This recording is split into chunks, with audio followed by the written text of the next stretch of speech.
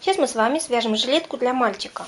В цветах российского флага, три цвета красный, э, белый, синий, с отделкой косами, косы широкие, как видите, широкая коса идет, которая расходится на две части, с очень интересным воротником, с отделкой жгутиками, с крылышками, даже не крылышки, а рукавчики, небольшие рукавчики, отделка косами по кругу, то есть косы не прерываются, не оставляют, не остаются у нас на плечевом шве. Вот такой вот, такая вот очень интересная отделка. Очень э, симпатичный рисунок фангами. Ну и стыковка вот таких вот маленьких деталей. Эта жилетка состоит из множества мелких-мелких деталей, которые э, собираются поочередно, и получается вот такая вот интересная э, модель. Совершенно неизбитая и нестандартная. Связав такую, эм, точно, ваш ребенок точно будет один единственный. Э, вот такой жилетки нет больше ни у кого. По такому же принципу можно связать и жилетку для э, взрослого человека. Начинаем вязать.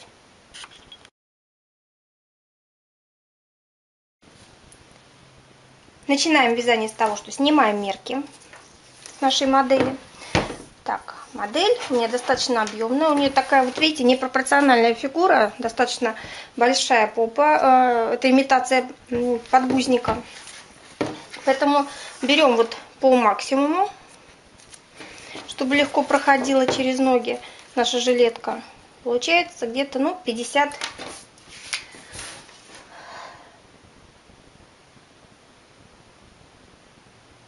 Пускай это будет талия. Объем талии 50, потому что она прямая будет. А, длина изделия. Длина изделия, ну, пускай будет подлиннее немножко, потому что, опять же, а, вот такая вот непонятная фигура, пускай будет 26. Длина изделия 26. Так, теперь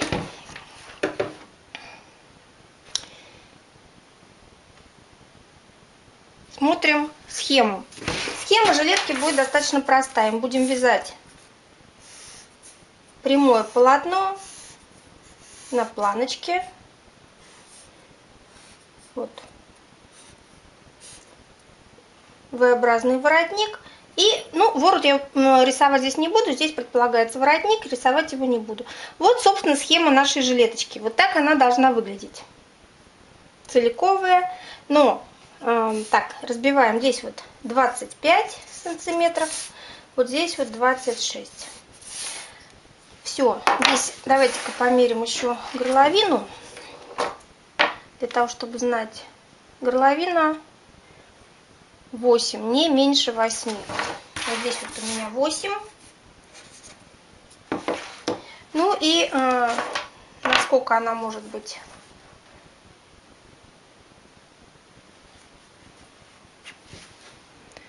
измеряю глубину.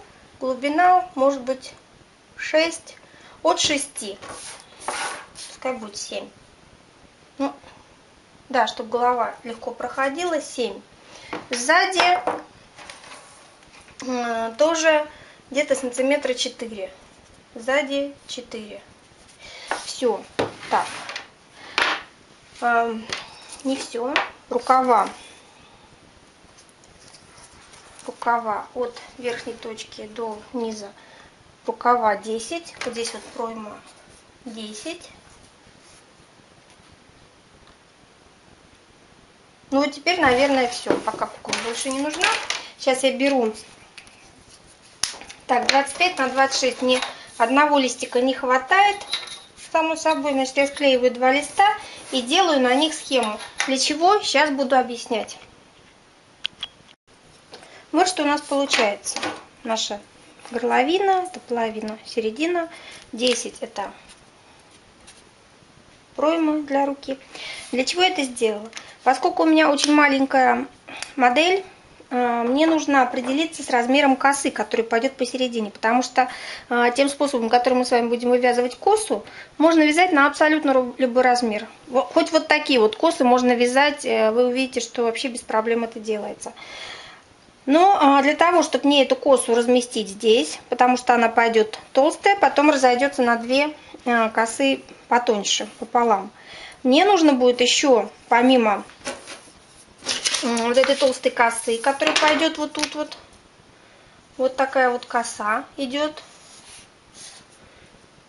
Помимо нее, вот этой косы, которая уходит у меня в плечи, идет цветная планочка со жгутами и э, белая вставка. И все это нужно разместить на таком крошечном размере. Поэтому сейчас я определяю размер косы. Вот только таким способом, потому что, как я уже сказала, побольше модель, побольше коса. На животе я могу разместить больше. Мою, э, моя задача разместить на плечах, учитывая, что тут достаточно мало места. Всего э, 8,5 сантиметров. Поэтому, если коса будет 4 сантиметра, пару сантиметров у меня будет полоса. И на вставку у меня останется всего 2,5 сантиметра. Вставка с плечиком. Ну, наверное, на такие размеры это пойдет, потому что моя задача показать вам э, всего лишь э, сборку и э, последовательность выполнения вот такой достаточно на вид сложной модели. На вид она гораздо сложнее, чем выполняется в реальности, поэтому мы сейчас с вами в этом должны будем убедиться. Значит, раз у меня 4 здесь, 4 здесь, это размер косы, и получается вот так вот 8 сантиметров мне коса идет по а, нижней части. Сейчас я ее поделю вот здесь, по нижней части. Получается у меня, сейчас я ее зарисую, эту косу. Это делается для того, чтобы я могла делать постепенный расчет. Почему постепенный? Вязать мы эту кофту будем частями, и расчет делать, соответственно, тоже частями. Это то, что мне должно получиться в идеале. Сейчас мы должны будем связать вот эту вот косу первым делом. Приложим ее, посмотрим, насколько она соответствует действительности. Если она соответствует нашим, нашему размеру, нашему вот этому пожеланию, вот такой вот, вот такая вот длинная широкая-широкая коса, которая будет расходиться на две. И, э, само собой, эта коса, я не, не рисую, но предполагается, что она сзади идет идет, идет, идет, обвивается вот так вот, ой-ой, и соединяется единое полотно за спинкой и вот так вот идет обратно. Вот это то, что мы с вами должны связать в первую очередь. Сначала косу. После того, как мы ее свяжем, мы прикладываем ее к, нашему, к нашей модели и смотрим реальный размер этой косы. Перевязывать мы ее уже не будем, какая она получится, а, потому что а, можно, конечно, делать предварительно а, расчет, предварительно все это в 10 раз вязать, но что я вам хочу сказать, коса, она такая достаточно непредсказуема, потому что если мы возьмем вязание всего лишь вот такой вот 8 сантиметров, при том, что у нас будет перевитие сильное, вот эти 8 сантиметров превратятся вот в такой вот тоненький кусочек. А, можно делать огромные расчеты, подбивать, подгибать, там подстраиваться. Мы это делать не будем. Мы сделаем сразу косу. Как я уже сказала, мы наложим ее сюда и посмотрим, что у нас получается. Вот эту часть мы тоже свяжем. Потом мы ее сошьем по факту. Вот какая она получится, столько мы лишнего распустим и эм, сошьем. Сшивать будем тоже сзади горизонтальным трикотажным швом. А, сделаем имитацию цельного такого вязания. То есть мы вот вывяжем отверстие. А, после этого нам надо будет оформить здесь раскол для того, чтобы туда вшивать воротник, потом руками. Ну, это уже послед... А, то, что мы будем делать дальше. Сначала коса. После того, как мы свяжем косу, эту косу, простите, мы ее связали, приложили, посмотрели ее реальный размер. После этого определяем, определяемся с полосочкой.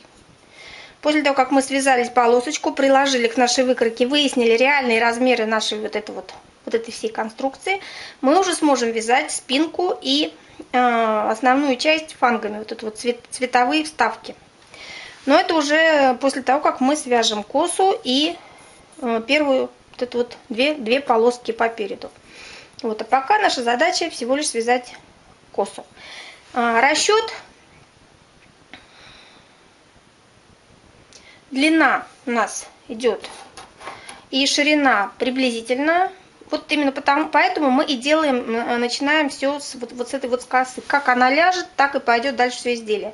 Э, расчет делаем по петельной пробе обычной, плюс там по паре сантиметров в каждую сторону, потому что э, коса, она собирает все вот это вот во все стороны. То есть, если она в высоту не сильно э, усядется, то в ширину она усядется капитально. Поэтому к нашей косе добавляем еще пару сантиметров, то есть это получается все 10.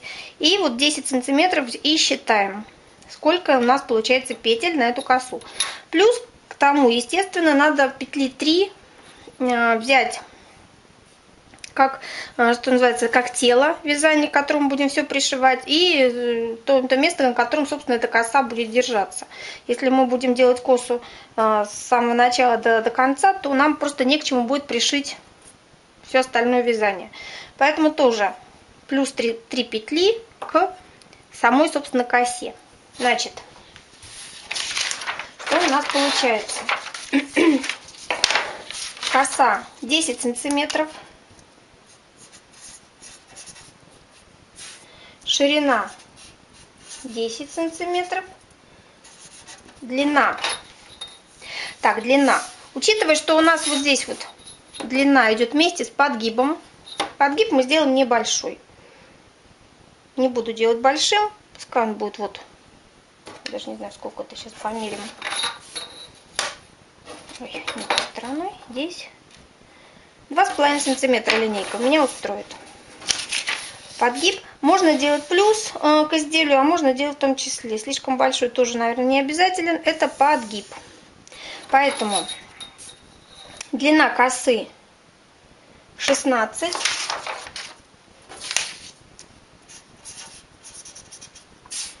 И дальше идет расхождение этой косы 8. Э, длина 2, 8 сантиметров. После этого я буду вывязывать длину. Сейчас гляну. Это приблизительно, приблизительно, приблизительно, плюс еще 9. 8 плюс 9. Это а, на загиб. Загиб тоже вяжется особым способом, чтобы он не оттопыривался, а лежал вот так вот ровненько, как нам нужно. Такой, таким полукругом. Вот. Берем петельную пробу и считаем, сколько у нас э, реально петель и эм, рядов получается. И идем взять нашу косу. После этого будем заниматься всем остальным. Записываем наши э, расчеты. Если у меня ширина 10 сантиметров, ой, 10 сантиметров – а в одном сантиметре у меня 2,3 петли, значит у меня 23, ну, мне нужно четное количество, пускай будет 24 петли, это ширина, 24 или 12, то есть 6 и 6. Ну, не очень удобно, потому что у меня пятиугольный декер, ну, в принципе, сойдет. Так, э, дальше. Длина 16 сантиметров. У меня 4 ряда в одном сантиметре. Значит, 16 умножаем на 4 равно так, 64 ряда. А потом 8 и 9. 8 умножить на 4 это так. 32 плюс 9 и 4, 36. А, теперь будем корректировать. Я а, буду делать перевитие через, а, ну, пускай 10 рядов. Через 10 или 15, потому что если делать чаще, будет очень некрасиво. Пускай будет через 10. Значит, а, я делаю перевитие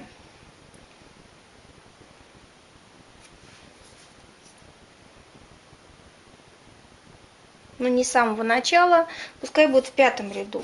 Потому что если делать э, перевитие через 10 рядов, в начале получается очень пусто. Если делать с самого начала, в начале получается мешок. Поэтому пускай пятый ряд. Потом Так, пятый, а, пятнадцатый, двадцать пятый, тридцать пятый, сорок пятый, пятьдесят пятый и, а, соответственно, шестьдесят пятый. Я могу делать перевитие и после этого уже, э, ну, сразу расходиться тоже нехорошо, расходить, разводить вот по, э, по, вот здесь вот у нас, представьте, делается перевитие прямо вот тут вот, и мы тут же разводим нашу косу в сторону. Нужно еще чуть-чуть провязать, чтобы вот это перевитие было хоть чуть-чуть пониже, чтобы э, было провязано хоть какое-то расстояние. Поэтому, ну, что я могу сделать? Я могу сделать короче нашу жилетку, но она и так маленькая. Поэтому э, пускай у меня будет здесь не 64, а 70 рядов. Вот так. Учитывая, что это первая деталь, по которой мы будем ориентировать все остальное, потому что она, в общем-то, самая сложная получается. У меня 70 рядов. Значит, на 65 ряду я делаю последнее перевитие и вяжу 70 рядов. На 70 ряду я начинаю разделение косы на две части. Для того, чтобы разделять косу, я должна делать убавки. Это простые убавки. Эм, но убавлять мне нечего.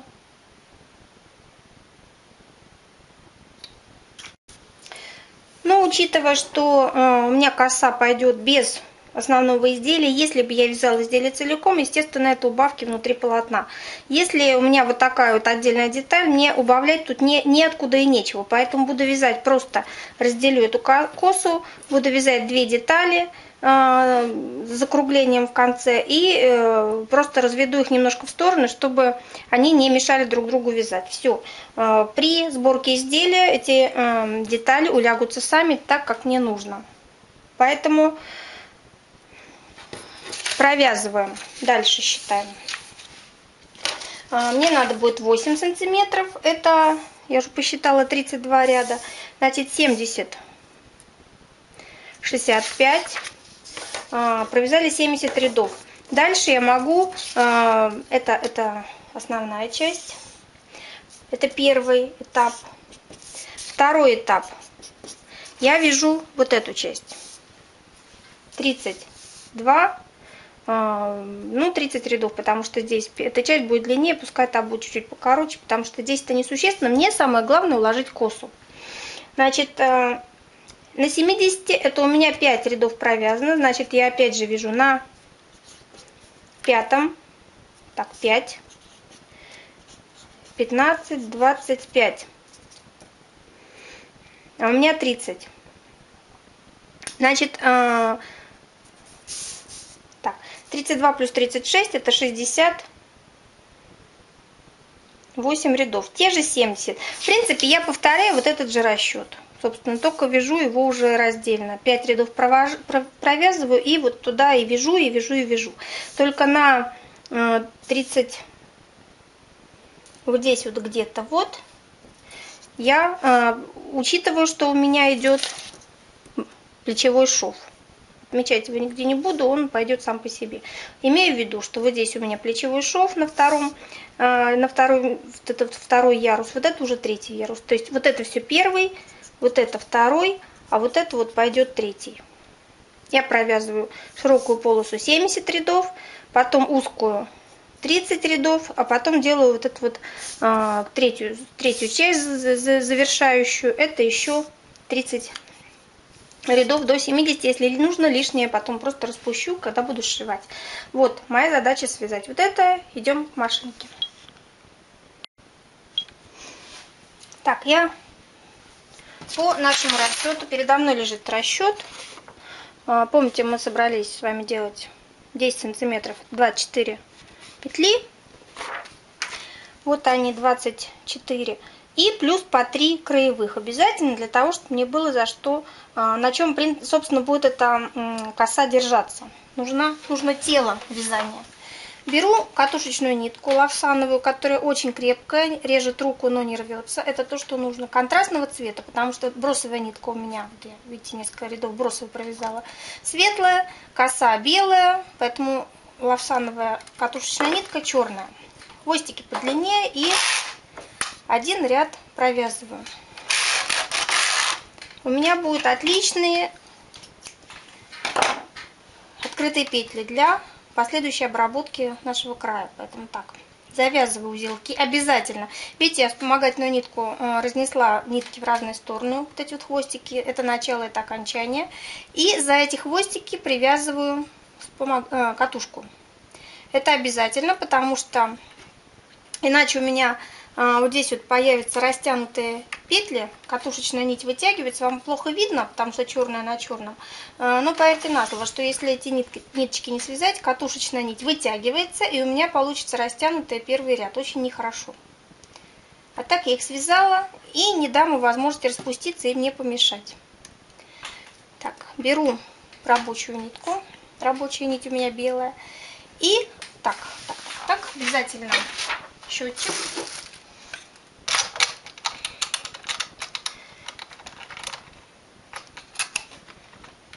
Счетчик, и будем считать. Провязываю э, по расчету 5 рядов. Основным цветом, основной у меня белый, им я и буду провязывать всю косу. Можно ниточку оставить по длине. Так, плотность рабочая. Все, провязываем 5 рядов. Раз. Два. Сейчас свяжу эти ниточки, чтобы не болтались.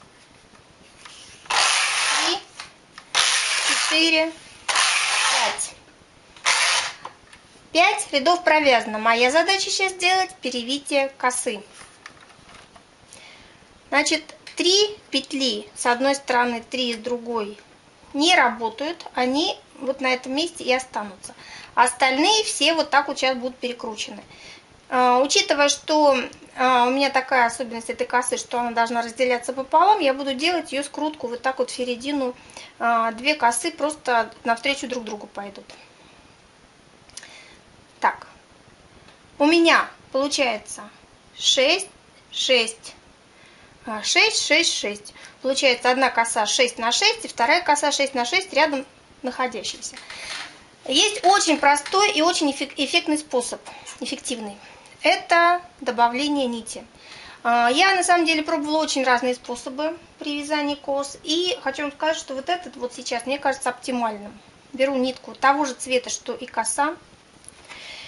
И провязываю руками 6 петель. Ниточку подлиннее. Вытягивая петлю до самого конца.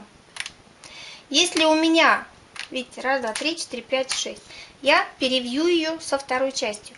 А, кто-то делает вот этой же ниткой весь всю а, всю петлю, то есть все, все обе части, потом перевивают, ищут концы, хвосты. В общем, очень сложно, очень сложно запутаться, гораздо-гораздо проще, чем тот способ, который показываю я. Отрезаю.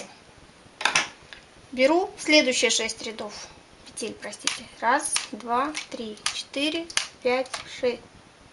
Так. Почему? Раз, два, три, четыре, пять, шесть. А это что? Раз, два, три, четыре, пять, шесть.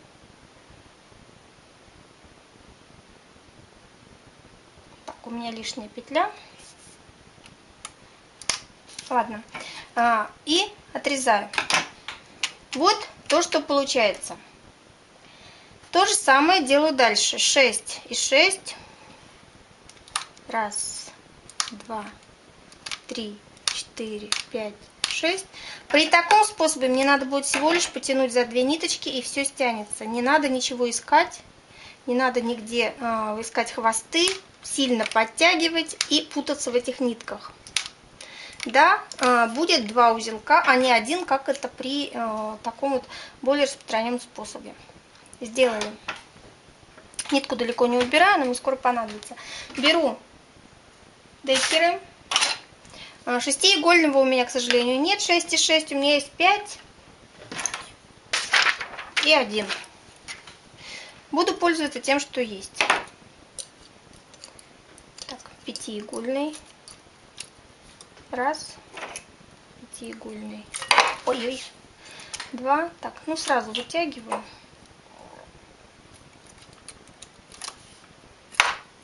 И вот эти вот. Здесь главное снять хорошо это все с машинки, вот так вот подтянула. И спокойно могу снимать. Раз. Снять. Два. Снять. Три. И снять. Так. Раз, два. Закрываю языки. И тогда оно спокойно снимается с машинки. Вот то, что у меня получается. Подтянуть и поменять местами. Так, теперь э, момент такой. Как я буду делать? Я буду делать косы навстречу друг другу. Это в одну сторону, это в другую. То есть сначала у меня идет с внешней стороны внутрь. Значит, сначала у меня идет так, это можно, ой, подержать пока тут. Первый идет. Оно все слетает, но это совершенно не страшно, потому что вот такие вот растянутые петли, они не дадут убежать а, моему полотну. В общем-то, смотрите, я даже делала такую конструкцию, кусок железяки, положила на край, и все это дело в него упирается очень, очень удобно. Так, и беру, надеваю обратно. Раз, два, три, четыре, пять. Слетать может. И ничего страшного в этом нет, потому что вот эти петли не убегут никуда. Они слишком большие и растянутые. С ними работать можно. Пересадили. Раз. Теперь вторая часть снизу. Это была первая. И это вторая. Все подтянули. И спокойно, так, это откуда, это оттуда. И спокойно пересадили. Хвостики можно подтянуть. Вот мы поменяли местами, мы их перевели. Так, теперь вторая часть. Вот они. Берем, пересаживаем вторую часть. И делаем все то же самое. Все то же самое. 5 одних, 5 других и 2 по одной. Возьмем этот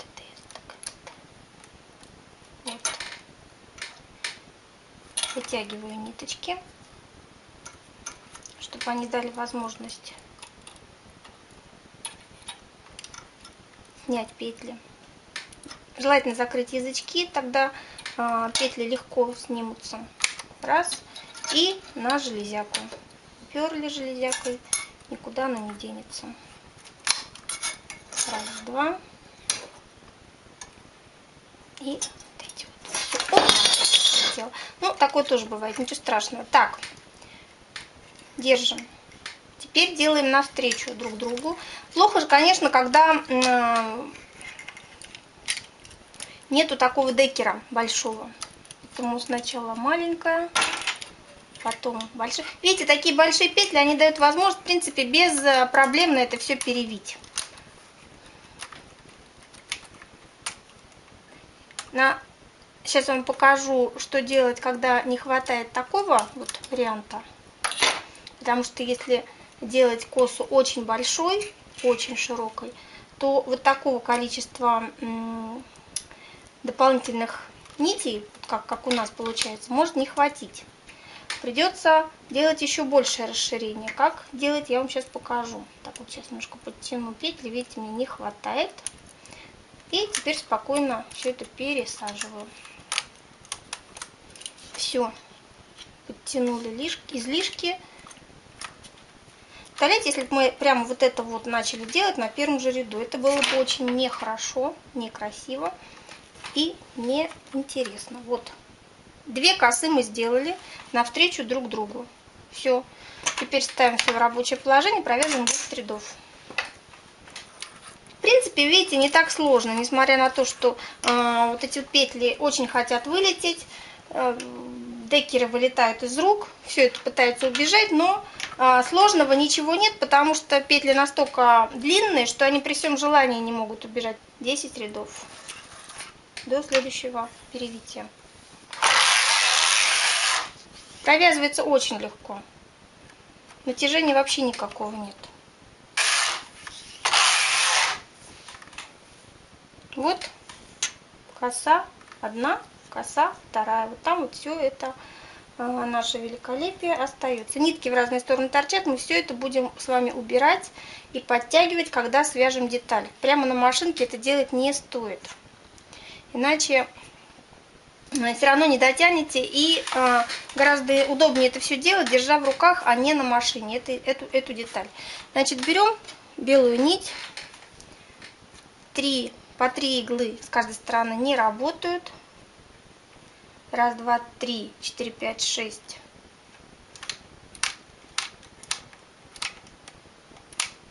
Первая коса. Отрезали.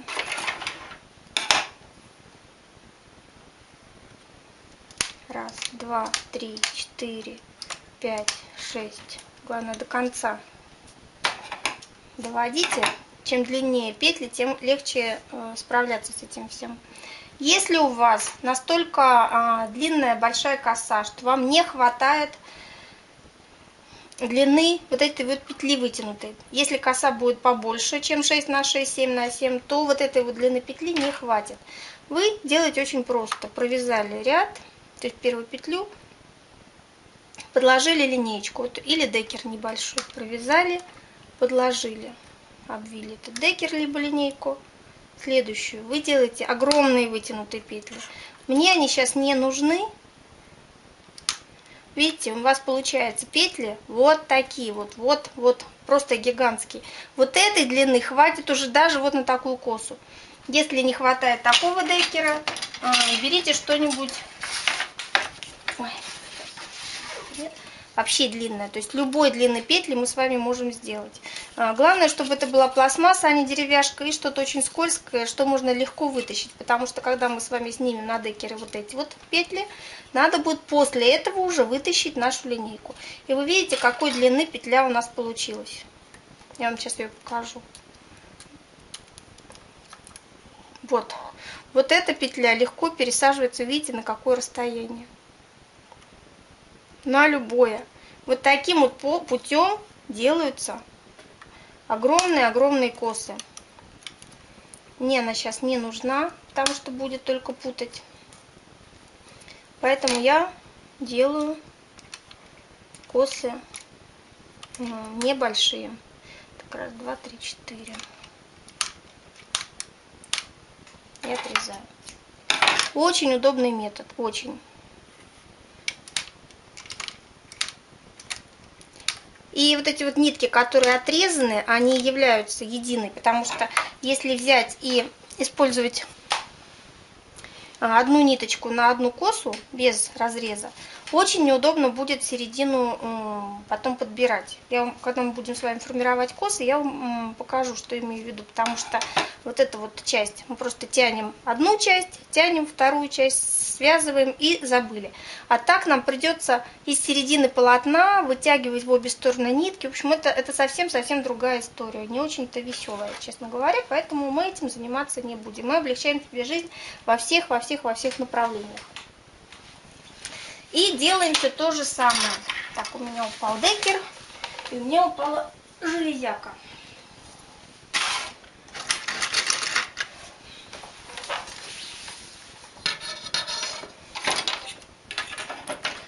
Беру лишнее, лишнее убрать.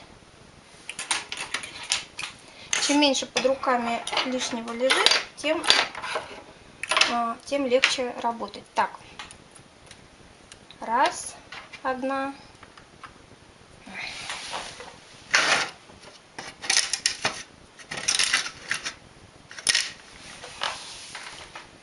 Раз, другая.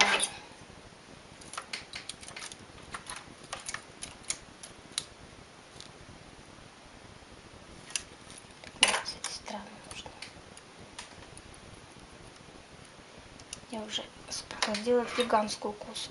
С гигантскими косами, конечно, может быть какая засада?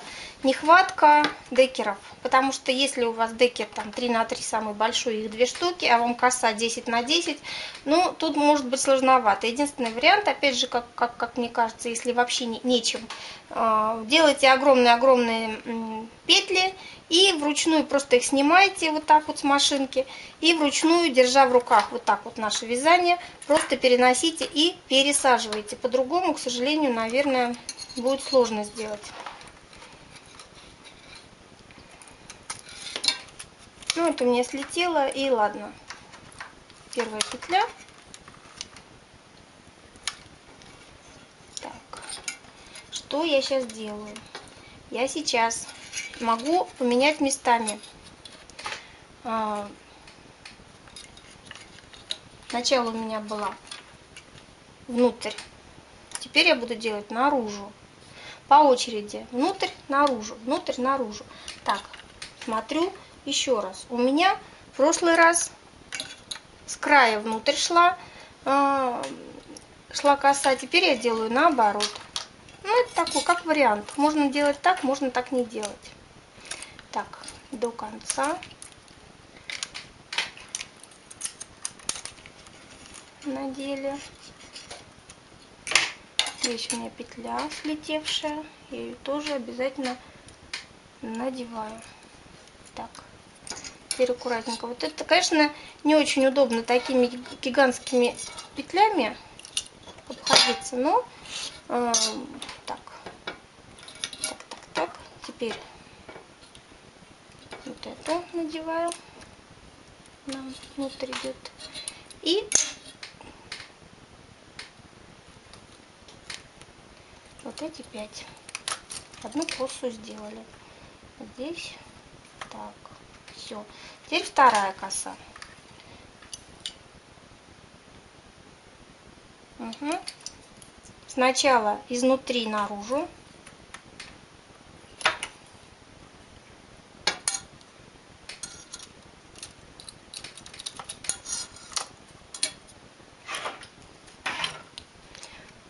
Последовательность может быть абсолютно любая, это вообще не важно. Кос, а, масса всяких кос есть, а, схем вязания. Берете любую, вам главное знать принцип, как, как это легко делается. Сняли одну. Сняли вторую косу. И можно снимать вот коротышки. А, и опять железяка падает радостно. Так, и смотрим, что у меня. Опять вспоминаю, чтобы не перепутать. Сначала изнутри наружу.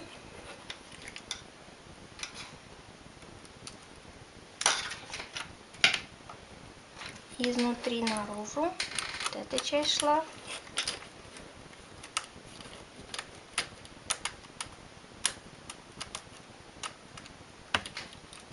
Немножко поднатянулась, потому что, видите, вот эта вот длина, она для петли 6 на 6 максимально. Так, теперь ловим первую. Теперь, теперь вот эта часть. Больше. Раз. Видите, вполне можно и руками справиться. Три.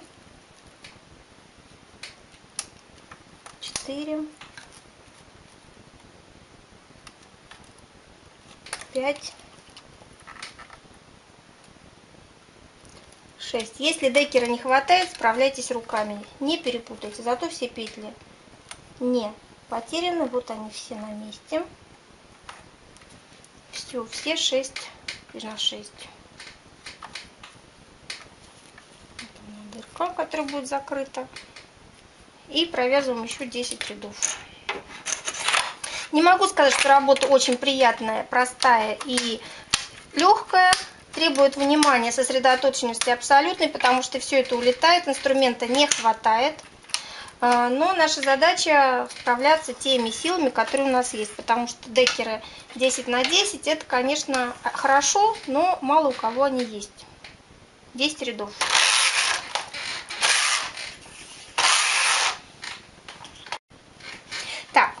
Провязано два, два яруса, две части. Теперь я опять, ой, ой, показываем косу, сейчас главное все не запутать. Буду чередовать. Теперь у меня пойдет Внутреннее, внешнее, внутреннее, внешнее. Можно, э, как я уже сказала, любые конфигурации кос вывязывать, какие, какие вы хотите. Это все вот так вот болтается на ниточках. Все очень не, нестабильно и вообще выглядит просто странно. Когда мы закончим, мы с вами подтянем вот эти нитки, и коса стянется. И прекрасно все уляжется на свое место. И будет вообще ничего не заметно. Самое главное тут будет не перетянуть. Но этим мы будем заниматься, когда уже все будет готово. Поэтому сейчас любая конфигурация косы, которая вам только нравится. Можно перевивать их между собой. Можно э, периодически делать пересадку 10 на 10. Вот так вот. Тоже будет очень красиво, необычно, непонятно маленькие-маленькие, потом парочку больших, потом опять маленькие-маленькие. В общем, любые-любые косы. Вот таким способом, как я уже показывала, через декер набирая, либо через широкую линейку, либо если хватает, просто э, делая увеличенные петли, вы можете пересаживать любые, любые косы, абсолютно любого размера. Это не шутка, это реальность. Вот так вот мы можем с вами делать на машинке. И не скажу, что это очень долго и как-то очень сложно. Самое главное, что петли не натягиваются, иглы не ломаются. Машина легко переносит вот такое вот вязание. Вяжем с вами вот это полотно любой косой, который вам нравится, до 70 ряда.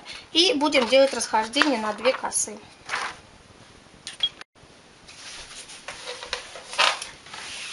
Ну вот, и... ну вот еще раз покажу косу. А, у меня коса непростая, она периодически меняется местоположение вверх-вниз, вверх-вниз. То есть у меня получается, что два раза у меня одна часть идет сверху, потом она два раза идет снизу. Два раза сверху, два раза снизу. Это достигается всего лишь последовательностью пересадки. То есть обычно мы как делаем? Все время в одну сторону пересаживаем, пересаживаем, пересаживаем в одной последовательности. Если периодически их менять, то есть мы меняем их местами, только одна сверху, другая снизу, потом наоборот. Одна снизу, другая сверху. Вот так вот. Э, вот таким путем достигается вот такая вот хитрая коса. А принцип у нее пересадок точно такой же, как у самой простой традиционной косички. А, есть э, еще один вариант, не то что вариант, а небольшое упрощение жизни при пересадках. Вот мы определились, что сейчас у меня пойдет первый э, изнутри снаружи, первая часть пойдет, а вторая часть э, пойдет сверху уже снаружи внутрь. Снимаю на крайние на большие декеры. Я их снимаю сразу. Придерживая пальцем, как угодно. Тут уже надо приноравливаться. Средние можно просто снять, они никуда не убегают. Так, и смотрю, что у меня получается. Еще раз, сначала пойдет изнутри наружу. Значит, изнутри, наружу, вот эту часть я сразу надеваю на э, ту часть, которая у меня пойдет послед, потом, и на иголочки навешу. Это для того, чтобы не запутаться. Я ее навешиваю на иголочки, она мне не потеряется, не запутается. Крайнюю сразу на место, эту сразу на место. И вот таким вот способом вязать гораздо легче. Это как при, при многократном повторении одной и той же операции находится какое-то оптимальное решение. Так, потерялись у меня тут эти петельки. Сейчас я их надену. И вторая коса. Вот она, ничего никуда не потерялась. Вот здесь была первая петля дополнительная, я ее сразу надеваю. И эти 5 игл на место. Все, так, вот такой способ гораздо проще. Самое главное, смотрите, чтобы у вас все, все иглы были с петельками. Каждый, на каждой игле должна быть петля, значит ничего не упустили. И делаем второй раз то же самое. Снимаю на крайние, средние оставляю висеть в воздухе. Одну сняли Очки поправили, вторую сняли. Смотрю, кто у меня идет первый.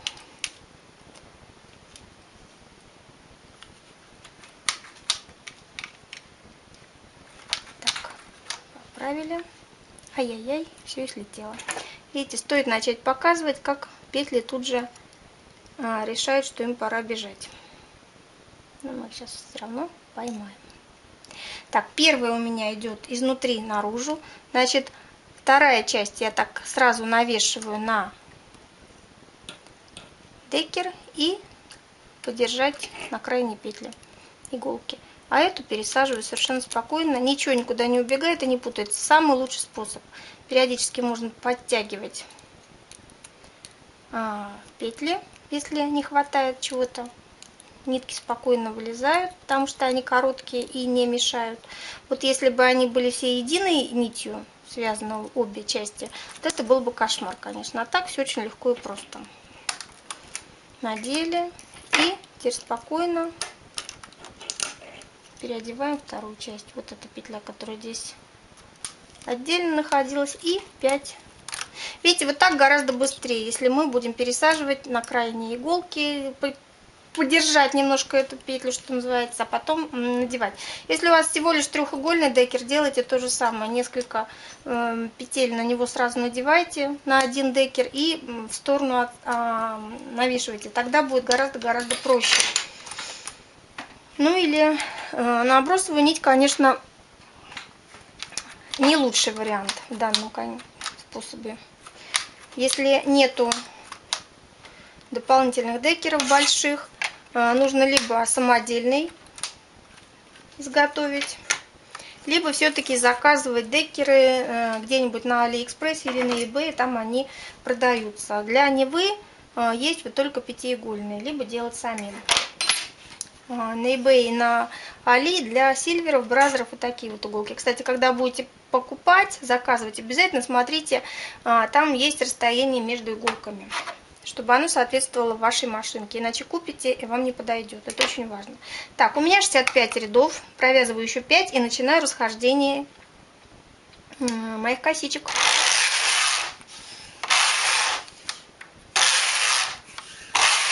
Так, ну 5. Сейчас я должна развести косы в стороны. А, и, само собой, они должны за что-то там цепляться, потому что сейчас я их разведу в стороны, и мне нужно дополнительные петли вот здесь вот придумать, потому что здесь у меня три петли дополнительных, вот они, которые будут держать косу. Здесь нужно хотя бы две, поэтому за вот эти пять рядов, что у меня сейчас придется связать, я должна... Так, 70 я провязала, обнуляю счетчик, еще 5 рядов, и я буду делать э, перевитие но сейчас я разделяю вязание. Для этого либо я оставляю э, одну часть в, переднем положении, либо снимаю набросовую нить, либо, если у вас машина позволяет, то вяжите две одновременно части. Я буду вязать две части одновременно, поскольку машинка моя позволяет мне это делать. Ручная прокладка тема хороша. Либо берите каретку интарсию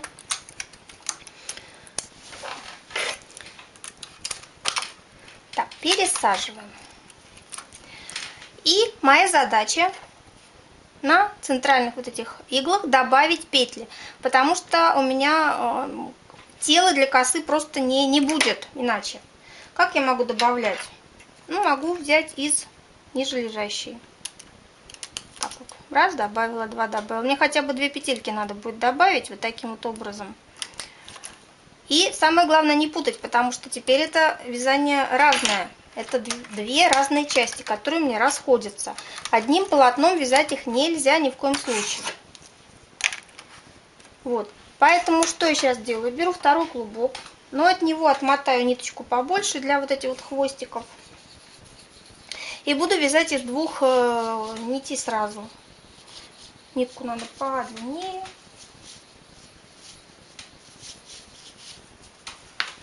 Наверное, достаточно.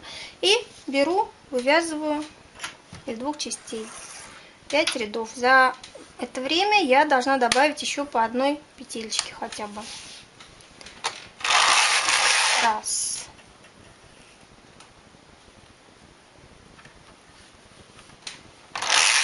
Два. Два разных вязания. Еще раз сдвигаю полотно. пересаживаем еще раз. И вообще лучше их э, сдвинуть подальше, чтобы они э, не, никак друг с другом не э, контактировали, иначе можно и перепутать наши эти части. Так. И вторую часть точно также сдвигаю на одну углу в сторону. Делаю расширение в серединке.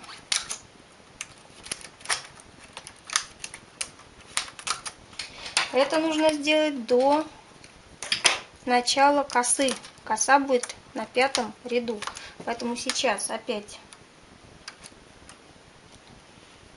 делаю вот такую прибавку. Вынимаю ее из нижележащей петли. И провязываю еще два ряда. Это будет 4.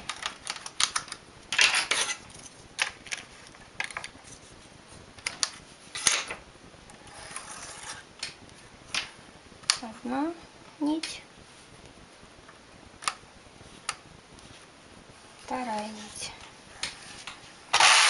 три,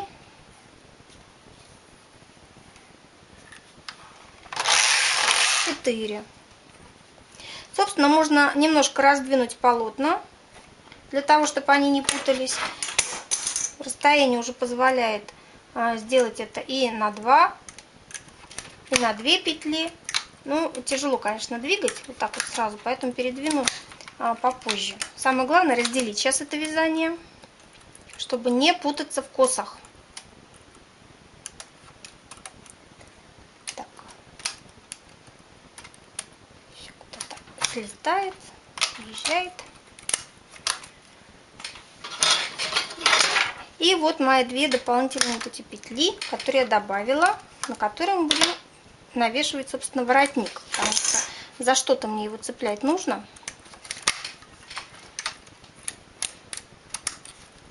Ну вот таким вот образом я раздвигаю вязание и вяжу раздельно две части.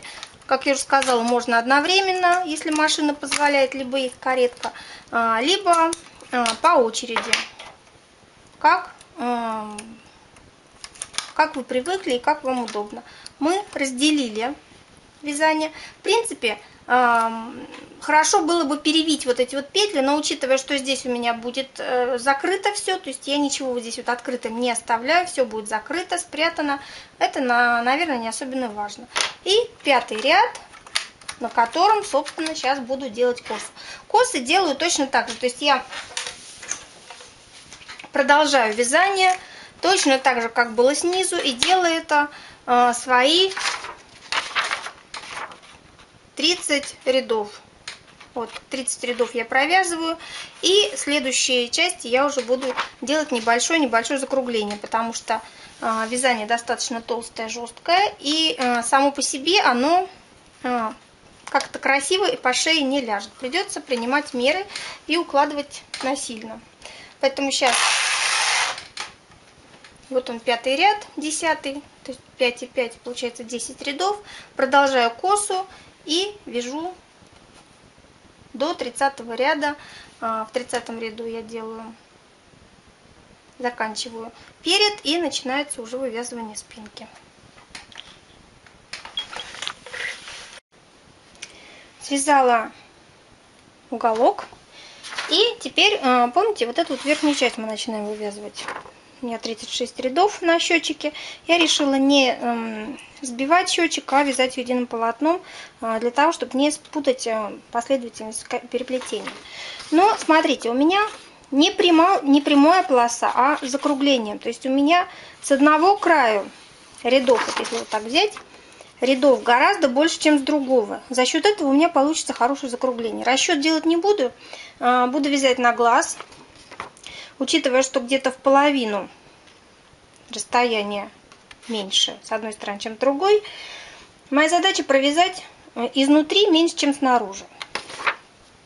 Делается это простым частичным вязанием. То есть где-то на середине полотна, вот здесь вот у меня мало рядов, по краям много. Я буду выполнять частичное вязание. То есть провязав косу на косе, никогда мы никакие операции не производим. за косой. Вот у меня 35 рядов переплетения сделала. А, ставлю какую-то часть переднее положение. Провязываю. Учтите, что а, делается это с разных сторон, поэтому одновременно и тут, и тут а, иглы выставлять не нужно, по очереди провязала. Эти иголки ставлю в работу, с другой стороны ставлю вперед. Так, извиняюсь, никак, конечно, не ставлю. Обвиваю иглу. Простите, конечно, ничего не ставлю, обвиваю иголку. Обязательно, чтобы не было дырочки. И провязываю вторую. Вот теперь ставлю в работу и провязываю два ряда. А здесь обвиваю иглу и э, провязываю частично. Три.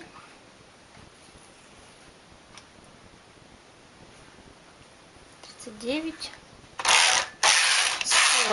Опять ставлю где-то чуть больше. А здесь целиковый ряд провязываю. Раз. Вот так вот. Точно так же. Стараюсь делать симметрично. Здесь обвиваю. Там нет. Здесь ставлю полностью ряд. Здесь провязываю половину. Видите, у меня здесь чуть-чуть, здесь больше. И целиком. 44. Ну, на 45-м делать ничего не буду, потому что это уже коса. 45. На 45 ряду у меня коса, переплетение. Делаю обычное переплетение. Но вы видите, у меня уже пошел вот такой вот скос. То есть внизу, с этой стороны, у меня петель рядов гораздо меньше, чем снаружи. Сейчас я делаю косу, потом повторяю вот эту же операцию. И делаю так до 70 ряда. На 70 ряду я снимаю это все на вспомогательную нитку и идем эм, завязывать косы, потому что мерить это все бесполезно, потому что оно все уляжется. Видите, у меня вот эти все растянутые петли, они все улягутся и примут свое ну, настоящее положение. Сначала мы уберем все нитки, все завяжем, после этого будем смотреть, сколько мы провязали, что нам еще э, реальную э, провязку смотреть будем и корректировать уже нашу выкройку. Вот таким вот образом довязываю до 70 ряда. Вот наше полотно. Вот такое вот. Практически, сейчас я покажу наша выкройка. И, в общем-то, оно, э, вот видите, даже загибается вот там вот все за счет э, частичного вязания частичных рядов. Вот так вот где-то оно и должно лежать. Оно, естественно, длиннее, чем надо, потому что у нас здесь вытянутые ряды сильно. Сейчас мы их будем убирать. Разворачиваем на изнанку крючок и Смотрите, помните, я вам говорила, что тот способ, который я предлагаю, из э, двух разных ниточек гораздо удобнее. Чем он удобен? Вот так у меня нитка одна, нитка, сейчас ищу, вторая, вот она. И видите, я просто могу потянуть за эти две ниточки. И у меня с этой стороны практически все улеглось. Ой, сейчас. Здесь. Конечно.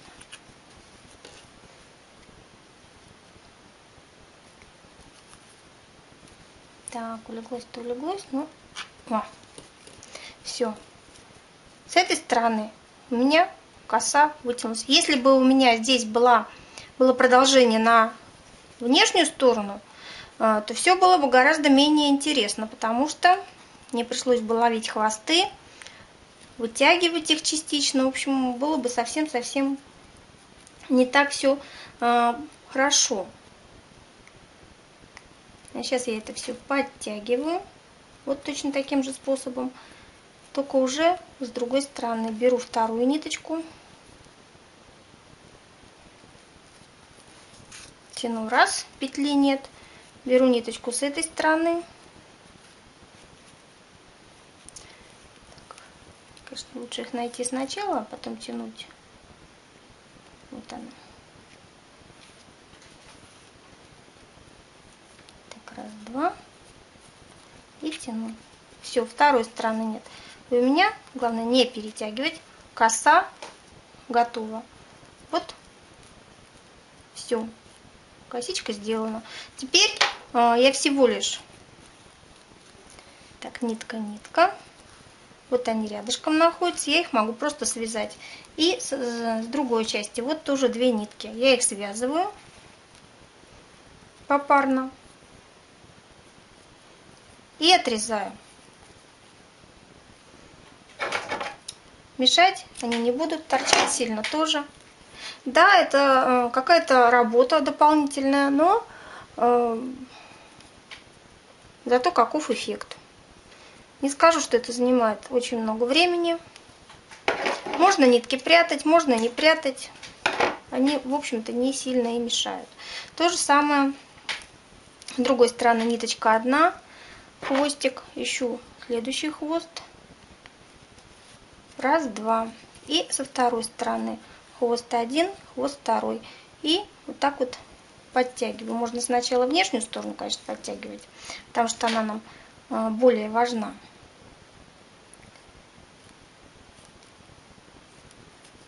Подтянули.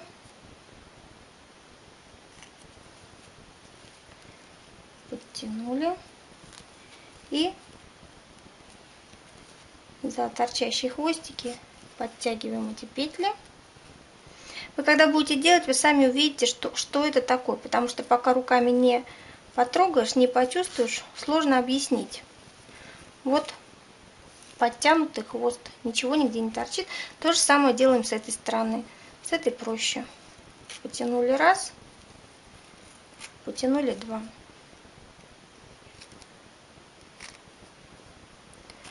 Можно немножко подправить.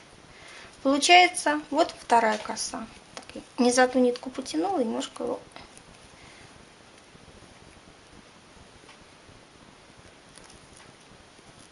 Вот, вот две косички.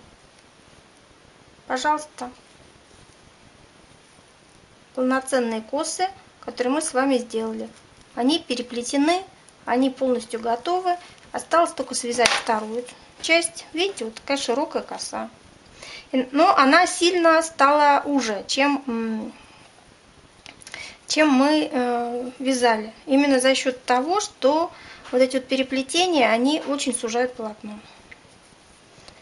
Во-первых, они сужают полотно, во-вторых, они его уменьшают не только в ширину, но и в длину.